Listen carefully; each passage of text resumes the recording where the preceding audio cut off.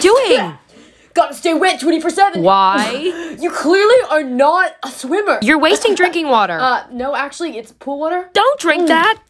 I love the taste of chlorine in the morning. Hey, stop that. Tara, the answer? Sorry, uh, this side of my brain is asleep. Talk to this side. That's not physically possible. Right, right, but dolphins actually do that, and if I want to be the best, I can never fully rest. Stop or I'll call your parents. Okay. Do you have a swim meet today? No. So what's with the full bathing suit?